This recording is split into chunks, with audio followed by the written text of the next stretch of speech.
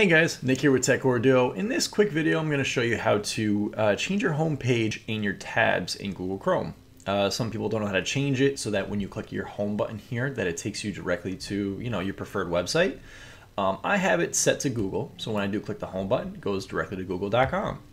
So to change this, what you want to do is click the three dots on the top right. You want to go to Settings, right down here, you can see under appearance, show home button. So you want that checked and you can actually have the option here to change it. So if you want it just to open up a new tab, you can click that. If you want to go to a specific page, you type in that URL that you want to go to. So I'm going to leave mine as Google. It's the way I want it. And so uh, to show you how to um, launch specific pages on your startup, you can actually go right up here. It says on startup it says continue where I left off, you know, open a new tab page or open specific pages.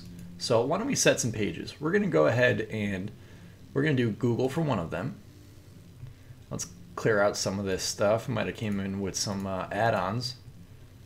So I'll clear that out. So we want to add a new page. So why don't we do, uh, let's do msn.com.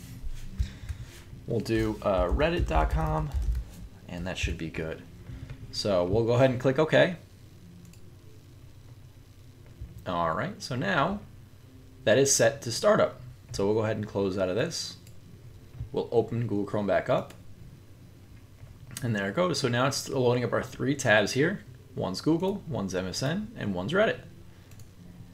So that's pretty much it, guys. If you guys have any questions, please let me know, and uh, have a great day.